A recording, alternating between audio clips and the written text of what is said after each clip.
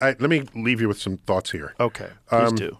There's a section here on race and color, which is another thing with the, the variation of what we have in the world. Just a, a point I want to make when European anthropologists started running through Africa and started describing what they saw, um, their urge was to say, everyone in Africa is this thing, and they have dark skin, woolly hair, and that is a thing. And they called it a race, and they called it the Negroes. Okay? And this is our attempt to classify into few categories something that might actually, in real life, be on a spectrum. We know that the human species began in Africa. And everybody who populates everywhere else in the world came out of Africa to do that. What that tells you is that the genetic diversity within Africa as the origin of our species is greater than it is between any other two people anywhere else in the world.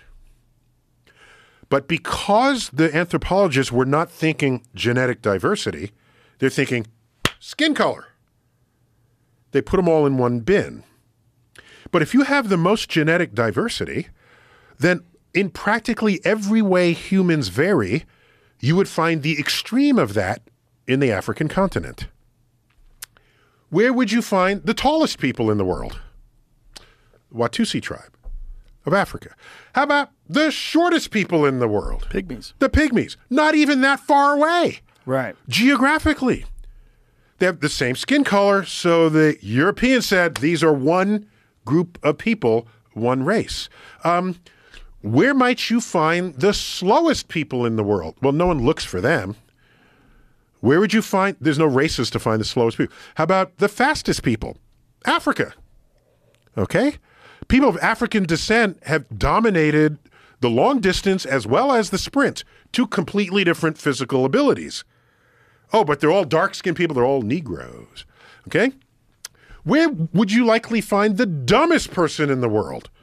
Africa. How about the smartest person in the world? Africa. How about the Egyptians? The Europeans did not look for people smarter than they were. Okay? And to this day, where they find evidence where that might have been the case, you have people saying aliens did it. Hmm. Egypt is, of course, in Africa. Yeah. A brilliant civilization. Oh my gosh. While Europeans were still either disemboweling heretics or whatever the hell they were doing, I was even before that, uh, thousands of years ago. So my point is, if you don't look for it and you don't find it, and you're going to create a map of humans of the world, you're going to put yourself at the top. That's what you're going to do, and you're going to write things like this. Uh, who do you want to hear from? Thomas Jefferson or Francis Galton? Jefferson. Jefferson, 1785. Speaking of the Negroes, comparing them by their faculties of memory, reason, and imagination, it appears to me that in memory, they are equal to the whites. In reason, much inferior, as I think one could scarcely be found capable of tracing and comprehending the investigations of Euclid. And in imagination, they are dull, tasteless, and anomalous. What, what is Euclid? I honestly don't know how many Euclid fluent white people Jefferson knew in the original Amel- American colonies. Euclid invented uh, geometry. Okay, Euclidean geometry is ancient Greece. And his books still exist to this day.